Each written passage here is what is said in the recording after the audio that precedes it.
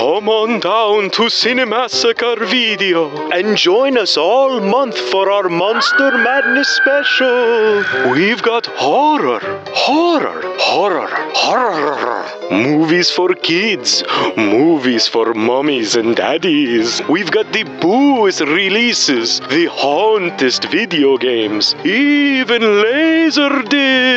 Having a problem making a selection? Our friendly ghosts are always there to hell out, and with our state of the art database, it's easy to find exactly what you're spooking for, even if it sucks. Blood. Today's creature rental from dusk till dawn. The evil Gecko brothers are on a spree of murder and mayhem. When on the run from the law, they take a former preacher and his family hostage, forcing them to drive them over the border. And then vampires happen. Wait, vampires? Really? Okay. Starring George Booney, Quentin Tarrant Screamo, Harvey Kite Hell, and Booliet Boois, featuring Cheech Marin, Cheech Marin, and Cheech Marin. Cinemassacre Video in the Voorhees Memorial Shopping Center next to Caldor. So what's your favorite scene in any horror film? Right there, The Oh, Shining. The Shining. Which scene though? Give me the bat, Wendy. Oh, I'm Wendy, give me the bat. I'm not gonna hurt you. I'm Hey. just gonna bash. I was just in the uh, adult mom and dad section, Oh. and you mistakenly put this on the shelf, which I understand because of all the foot fetish stuff. Oh, okay. Um, yeah, yeah. So I definitely like to rent and hopefully talk about from dusk till dawn. Sure. Yes. When I first saw From Dusk Till Dawn, uh, a friend of mine uh, let me borrow it, and he said, "Oh, check this out! It's this really cool vampire movie." So the first hour of it or so, I'm thinking like, "Well, where's the vampires?" so I'm like waiting for them. But I've heard everybody else mostly has had the opposite experience where they didn't know it was going to be vampires. And I always felt, well, it's called From Dusk Till Dawn. Like, wouldn't that Yeah. mean? But I don't, but what were your guys' experiences with this movie? Um, I'm not sure when I first saw this. I feel like I knew there were vampires in it. Mm-hmm. Like someone might have mentioned it, and I remember watching it, going like, "Is this a vampire?" Oh, like, so I, similar to my experience. yeah, yeah. Okay. Where like I got the idea, and I'm just like, uh, and then a vampire shows up, and like, Yeah. Mm-hmm. oh, okay, all right, now I get it. All right, this, this makes sense. Uh, when it when it drastically changes. Yeah. What do you think? Um, you know, back in the early 2000s, because I didn't see it in the 90s when it came out, Mm. but I was getting big into like Tarantino films and like you know anyone else who's working at a movie theater and all that Yeah. crap would be. And I was like, oh, let me check this one out. He didn't direct it, but he, I think he like did the screenplay and he's Yeah, in he it wrote it. and all that stuff. And uh, I checked it out. I'm like, oh, so it's like Natural Born Killers blends into Dead Alive. And I was like, oh, this is awesome. Yeah. so I was pretty into it. Yeah, I love this movie. By the way. Oh, you know what? I could tell. You know what? You know what? Let, just I would. I know I would love going. to tell the story about how Mike first because I saw his face. I saw everything. So this is back in college.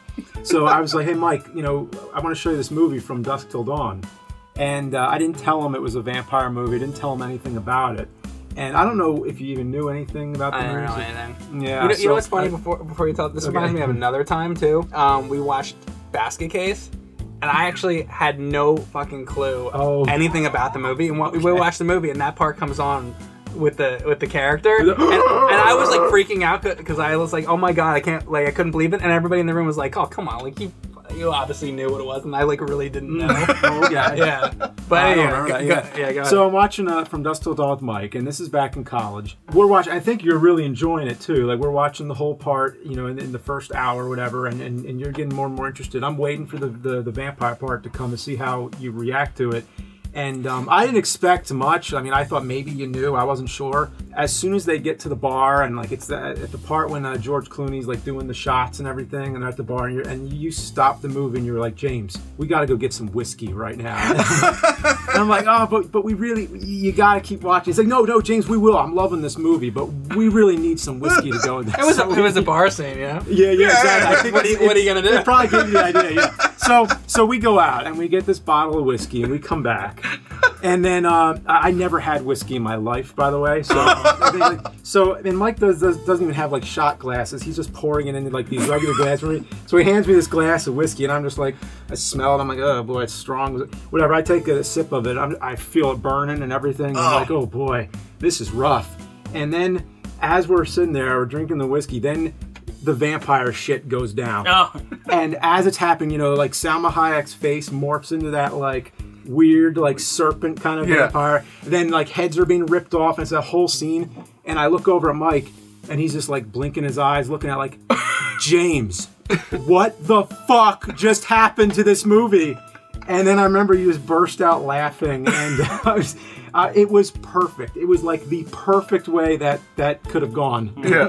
Yeah, I had no idea. I thought it was just gonna be like a like a regular like because they had this, this scene earlier where they're like uh, rob rob like a liquor store or something like that or a convenience store. I just had no clue where it was going at all. Yeah. yeah, and then yeah.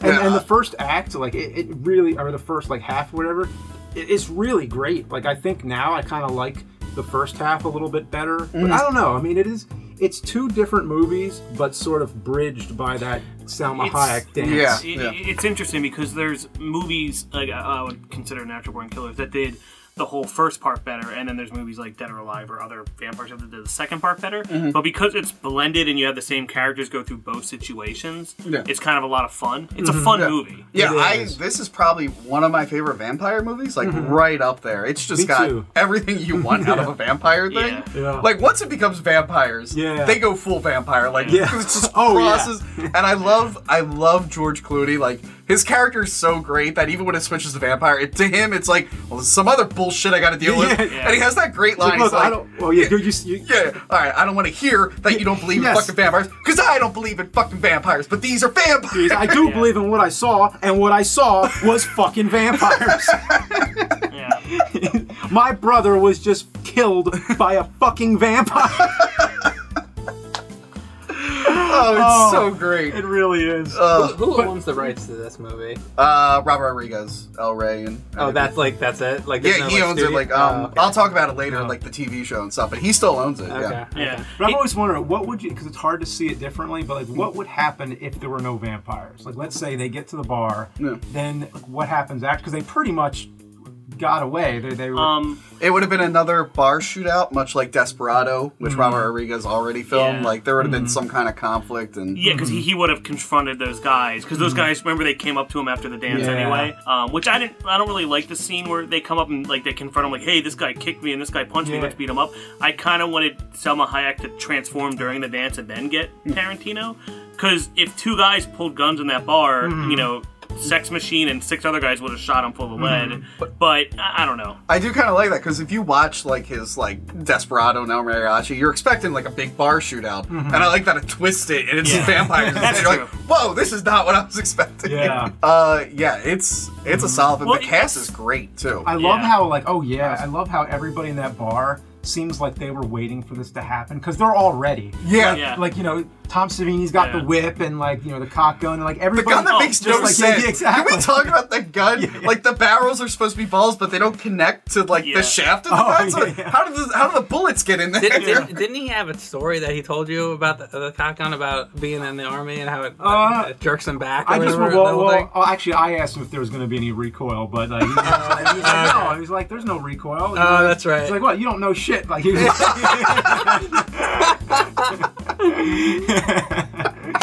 yeah, he's hilarious. Well, just Um, just everyone in like when people Yeah. think of from dusk till dawn, everyone thinks of when they get to the bar to the ending. No one really remembers like, hell, what happened to that poor bank teller? Yeah, Uh, that was oh, like, dark. What, yeah. what happened to the liquor store guy, or what happened to all that? Like, no one cares about Yeah, that. yeah. Or Wait, wait. What, what about the border crossing? They only care about things that happen in the bar. Here- Here's confusing. They kill Sheriff McGraw, and then he comes back later in Planet Terror and Kill Bill. Like the character's still alive. Oh, even mean though the- his first appearance Yeah. he dies. the, the, the police officer in the yeah, very beginning. Yeah, Michael Parks. Yeah. He plays that character in multiple movies, but I used to dislike that beginning, that Yeah. opening. I love it now, but Yeah. like he walks in and it's so quiet. He mumbles through the entire thing. Yeah. but he's so great. Did you break for lunch or nothing? I'm by myself today. Ate my lunch out of the microwave. Jesus H. Christ, Pete. When you gonna learn that microwave food will kill you faster than a bullet? I mean, them damn burritos ain't good for nothing but a hippie when he's high on weed. Um, but the first time I watched, I'm like, this is like so boring. Like, when is something going to happen? But now I just love how it begins like he's going to be like the badass, like Clint Eastwood, like Yeah. starring role. But he's nothing. He gets killed. He gets wiped out in that first scene Yeah. before the credits. Well, And when they blow up the bar, that they actually did that. Like in When they're one- walking down- Yeah. Oh, not the bar. Like the convenience store. Yeah. Yeah. They're, they're walking out. They actually had to do that in one take. Mm-hmm. And if you look at it, the pieces of it are falling all around them Yeah, when they're walking pretty to the car. awesome.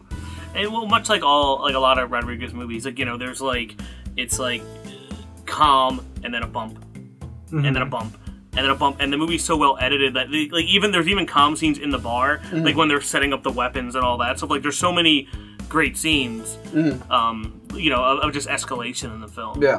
I think one of the most tense scenes for me is when they're trying to get across the border. Oh yeah. Yeah, for some reason that one's like really I don't know like uh, Yeah. you, there's all the vampire stuff later on. And what a smart idea with the bathroom when she's like, you know, would you Yeah. mind please shut the fucking door? Yeah. And Cheech is lingering for a little too. Yeah. long. Yeah. And, and Um, then Seth is like impressed by it. He's like, yeah, Yeah. that was a good idea. Um, what do you guys think of uh, Tarantino's acting? Like he's not really known to be an actor, but he's he kind of pulls it. yeah. He, he could only play a creepy weirdo. Like Yeah, yeah. thankfully, this is the character he's playing. Yeah, because he's kind of because he's he's basically like this. He's he's a serial rapist and killer. He's Yeah. like a horrible like person in this movie. But like when he when but there's a switch that goes off because then he's just kind of like just kind of weird and like you know awkward. Yeah. Um, it's it's really a, a an interesting character. Like he did a good job, and, and like you said, it's something that only Tarantino. Mm-hmm. Yeah. Yeah. could Yeah, play. He- Rodriguez was probably like, "Hey, can you play a guy who has a foot fetish?" And Tarantino was like, "Yeah, I can do it. I, I've, I've studied this for many years." Well, I think I think he wrote it for himself. Yeah, he definitely wrote it for and- himself. And I'm gonna get into this because in the commentary, okay, I'm, gonna, I'm I'll just go ahead with this. But in the commentary, they're talking about how like he's sucking on Salma Hayek's foot in the during that like dance scene, and then I think George Clooney said something to him, and and they he's not on the commentary, but they're Yeah. talking about George Clooney once said he's like, oh yeah, so you wrote yourself to suck on Salma Hayek's foot, and I gotta fight a giant rat. yeah. There's actually a scene when, when she's standing on the when she's doing the dance on the table. She like backs up too far and almost like I guess she she might step or like mm, run into George Clooney, and he looks so sad. Yeah. What we can find, he's like he's like oh like it, it's so weird. Salma Hayek, that is like probably one of my favorite scenes ever, the dance scene. Oh, it definitely Until the was, foot yeah. fetish part, unless you Yeah. have a foot fetish, in which case it's probably even better for you. Man, yeah. like that scene, I'm like, this I, is great. I pass on the foot, but uh, that's, that's Tarantino's thing. Whatever, That's it's, his it's his thing. Um, and she's cool when she turns into like the whole snake thing. And I love the whole like, you're gonna be my slave. And he's like, I was already Yeah. married. And I, I appreciate that scene now for like what it is because you needed that calm before the storm. Yeah, yeah. But yeah. You guys want to go through all the characters now in the movie? Sure, Yeah. yeah. Let's I go want to top start. to bottom. Yeah, okay, first one. The best character in the whole movie is the the hotel uh, guy. They go and then he's like, "What the hell do you want?" and he's like, "What do you think I want, you mean old fucking bastard? I want a room." And he's like, oh, Okay. "Okay." and that's all you see of him. He's the best character in the movie. I like Freddie Williams, Oh yeah, yeah. especially when he tells his Vietnam story, Yeah, which yeah. must be the most amazing story because he's miming it out Yeah, yeah. for 10 minutes while Sex Machine Yeah. is turning into a vampire. And it's like, it keeps cutting back, and he's doing like a Yeah. new moment. He's telling the story how he like took out all these Uh people. huh. And he's not he's not talking during this. Like there's this long part where it cuts because they had to cut away to Tom Savini like you know, with his fangs. Yeah, and the everything. fan, the hands. and then yeah. and then uh, Freddie Williams is is not saying a word but just doing this, and everybody's just watching him do that. And it, they occasionally turn to look at Tom's man, and then they turn back and go back to the story, and he's making like a new movie. oh Oh, man, so great. I, I want to see that scene with the audio sweetened, so you just hear like nothing but yeah. Just like Um, it's really awkward. As funny as it is, though, I like the family. Mm-hmm, um, yeah. Harvey Keitel, Julia Yeah. Lewis, and uh, Family's the good. kid who's clearly a John Carpenter fan because he's wearing a Assault Oh, from yeah, Season yeah. 13 shirt. Uh-huh. Which is pretty much what happens where they have to put themselves into Yeah. the plays. And you kind of need those characters in the movie to Mm-hmm. like, because you know, if George Clooney or Quentin Tarantino died, it's like, oh, good, an awful person died, whatever. Yeah. Like you need someone to be like, oh, I Uh-huh. hope they don't die. They're nice. I mean, it's kind of weird because uh, Juliette Lewis was two years ago in Natural Born Killers. Yeah, So now she's playing someone who's not psych- psychopathic and younger. yeah. Eh, It's like, well, she was actually more badass, I guess, than the two guys in this film. Yeah. And more crazy. Yeah, and Natural Born Killers, yeah, Yeah. yeah, yeah. Yeah, I really love how you take this these dysfunctional kind of like pair of brothers who are criminals, and then you have, um, you know, the the family, and um, you know, like one's a priest who like isn't a priest anymore, and Yeah. like you know, and then these characters at first, like you know, they're kind of forced in this whole situation, but then they they earn. Seth's respect by the end of it. Yeah. Um, I thought that was really cool. Like pretty much by the time they get to the, the bar, I think that's the point when, you know, he's he's he says the line. He's like, "Are you too much of a fucking loser to not know when you've won?" and then he's like, "Can you repeat that to me?" And then yeah. Yeah. and then he after he's just like, "I want you to have a drink with me." Yeah, like that was kind of the moment. Yeah, which is funny because you had the whiskey scene earlier where you first drank whiskey watching that movie, and then they give the whiskey to her for the first Yeah. time, like mm-hmm. you know, I don't drink alone, kind of a situation. Yeah, I what a- insist. What a horrible experience for her. Like, so what was your first time getting drunk? Oh, well, I went to a bar with my family. Everyone turned into vampires, and then I shot my brother and dad. Uh, so, Yeah. you know, the beer, the, the alcohol was good, No. but everything else was awful. She didn't shoot her brother and dad because they were already dead. Oh, They, right. they were already turned. Which Tarantino's very happy, proud of that uh, killing the kids scene. Okay, yeah, We, we listened to the commentary. Yeah. So so anyway, the commentary on, on From Dusk Till Dawn is probably the best comment, the, the funniest, and it's pretty informative too. It's Yeah. very good commentary, probably the best I've ever seen. It's Robert Rodriguez and Quentin Tarantino. And the thing is, Tarantino he doesn't do um, commentaries on his own movies. Like he Yeah. does some, but you would think for such a chatty guy, like it, it's surprising that this is the only one of his movies that I know of where he did the commentary. Yeah. I wonder if he does a bunch and the editors are like, Oh, oh maybe. delete that. so the scene with the kid, he's like, he's like, okay, the one rule in horror films is you don't kill the kid, but in this movie, the fucking kid gets it worse than anybody, and he's just like cracking up over He's, it. like, 'Cause he's the- comparing it to Schindler's List. Like He he said- throwing Spielberg under the bus. He said Spielberg didn't even have the balls to shoot Schindler's List, which, which no, okay, Tarantino. I don't Spiel, think he watched I think it. Spielberg had more balls.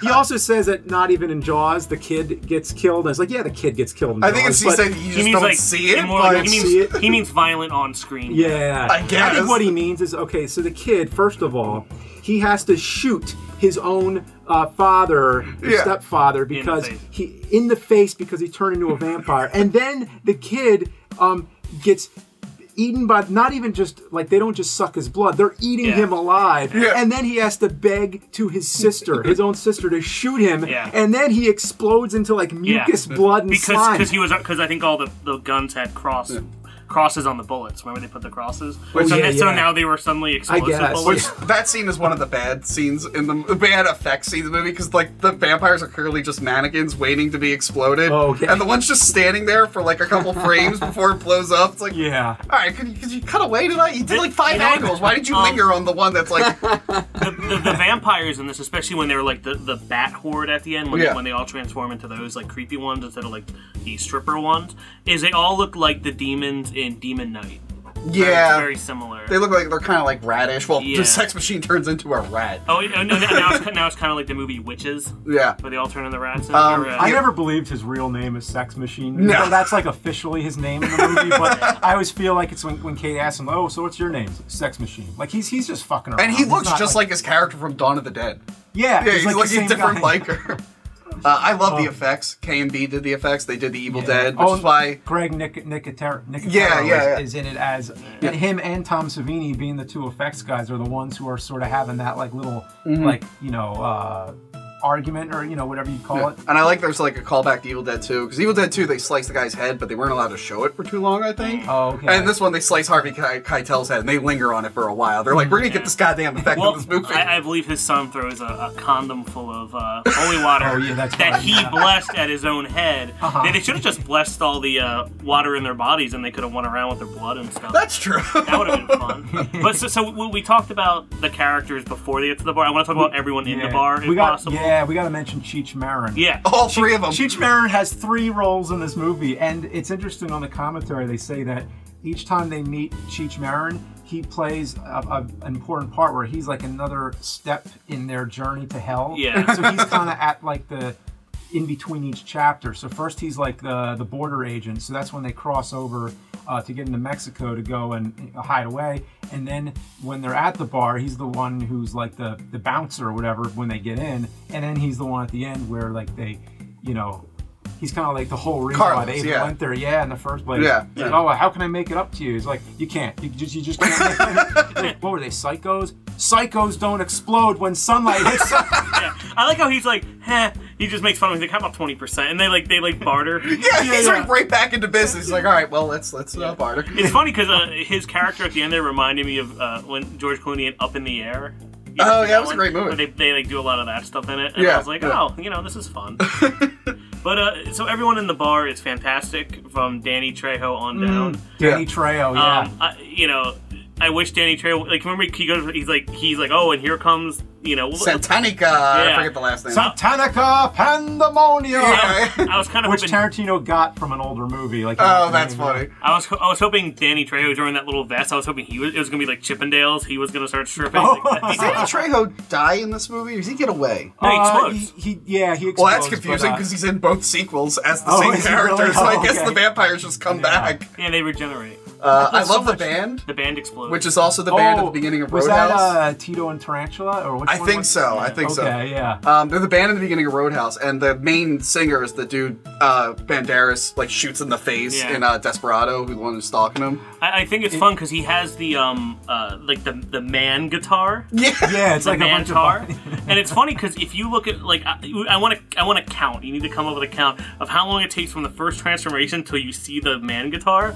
I don't think it's someone in the bar. I think he had it he just brought it because it took like two minutes. I don't think he's doing all the stringing and are the strings human hair? Like there's a lot I want to know about the instruments and. By the way, the, the, that band never sucks anyone's blood. They just they were there just to play the show like, and leave. Fuck you, everybody! and then they explode. that sounds pretty good. Oh, oh my God. Has anyone watched any of the follow-ups?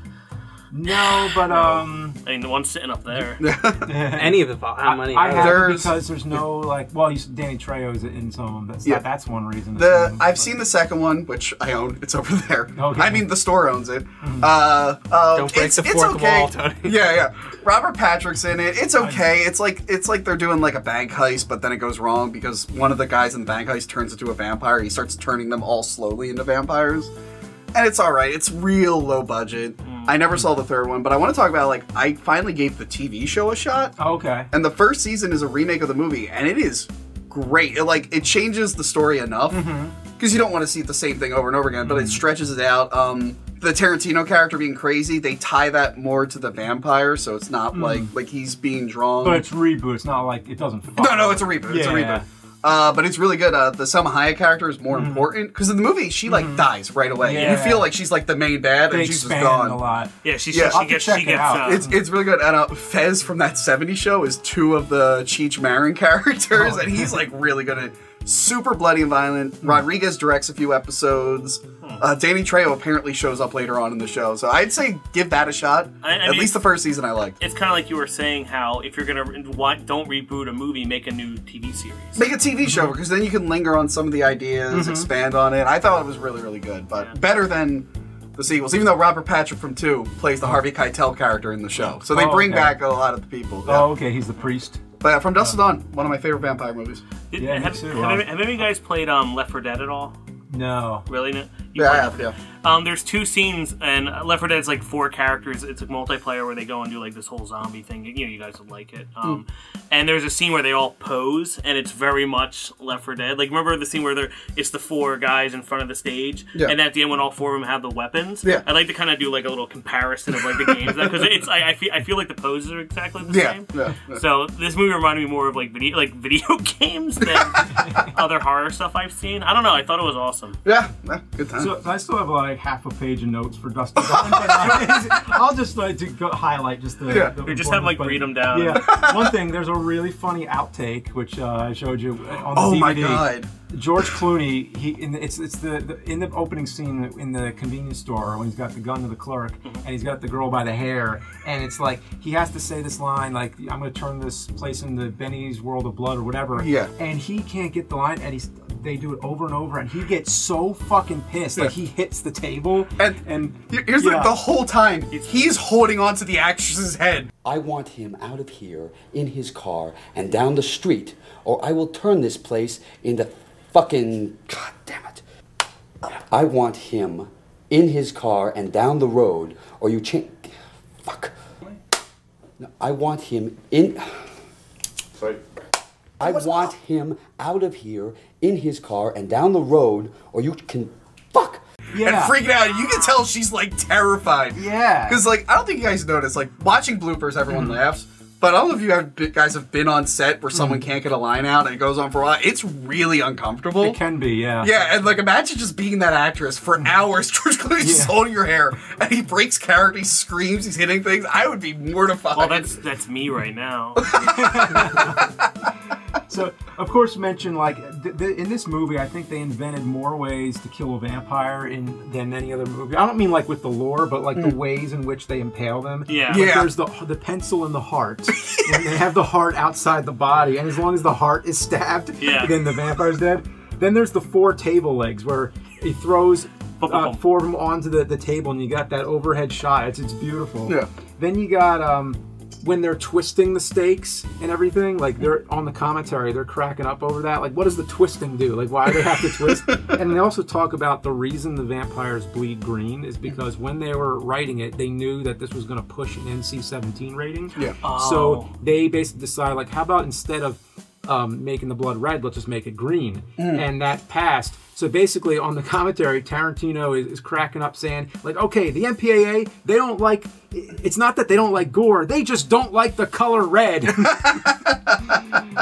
and then the last thing I'll leave it at is the ending is so great um, with that big matte shot. yeah, yeah, that's Which great. I think Robert Rodriguez has that matte painting in his house. Yeah. yeah, he He's does. talking I would love to get a poster of that. That thing's great. Yeah, it, it's so awesome. And then not just the way it looks, but the idea that you see that they're not the only like uh, truckers that come by. Yeah. There's just yeah, like all these. Like, well, uh, if you yeah. if, like, I, I mean, I don't know about you know trucking history, but there's trucks in there that are clearly from like the 40s and 50s, like uh, newer the bottom, and there's like as they go up, they get newer Mm-hmm. and more high tech trucks. But That's another thing. Uh, the TV show they explore more of that temple, which is pretty cool. oh, cool. And uh, oh, one last thing about the show. Yeah. Jake Busey is Sex Machine in it, and you don't know he's Sex Machine for like five episodes until he whips out the dick gun. You're like, wait, that's who he is. uh, but yeah, yeah. Um, it's a great movie. So, Mike, what'd you think uh, from Dusk Till Dawn? Any final words? I'll have to watch it sometime when I'm not drunk. Next week on Rental Reviews, the gang reviews Event Horizon. Featured today is the official Eddie Spaghetti VHS Halloween Companion Volume 2, a full six hours of Halloween themed episodes, specials, commercials, and more. Check out the Facebook page for the OSI 74 Network series Here Lies for more details on how you can snag your own free copy and make this year's Halloween the best ever. Thank you for watching Cinemassacre Rental Reviews. Take a look at our other videos, and if you'd like some Cinemassacre merchandise, head over to ScreenWaveStore.com.